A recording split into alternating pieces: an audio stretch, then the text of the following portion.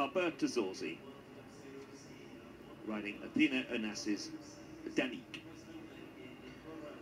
Currently fifth in the Western European League. Had a great campaign. Second in Verona with Fairlight. Ninth in Oslo with Fairlight also the week before, or a couple of weeks before. Picked up points in Stuttgart with Kontanga. Himself fifth in the Western European League.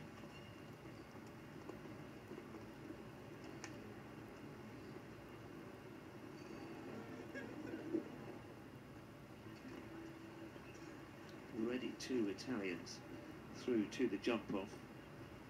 Luca Maria Moneta and Giorgio Bucci.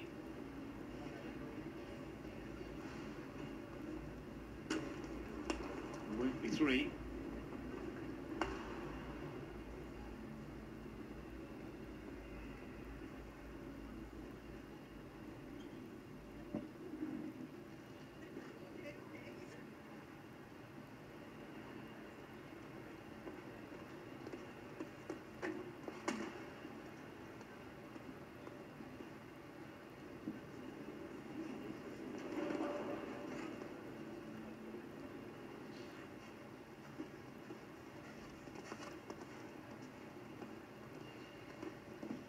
And finishes on 12 volts, three down, 12 volts for Alberto Zorzi and Danique.